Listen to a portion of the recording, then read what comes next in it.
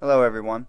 Uh, yeah, I'm just having a little problem with, uh, I'm trying to do a transporter effect on Sony Vegas Pro 8 and I would like anybody that has a tutorial on YouTube somewhere, I've tried to look it up, typed in, uh,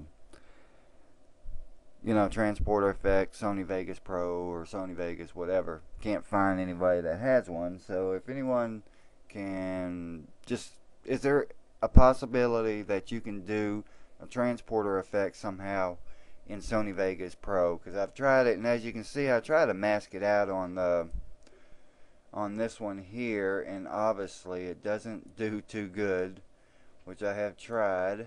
And as you can see I've tried to mask it but then I go down here and just try to turn the occupancy thing down but I'm not I just don't know how to do it and change that.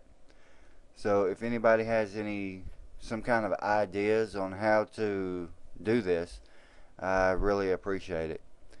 Because uh, I want to learn I want to know how you do the transporter effect on Sony Vegas Pro.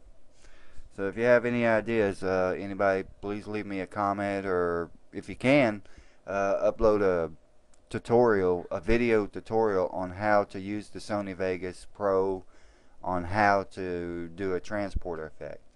Alright, I appreciate it and thank you. Bye-bye.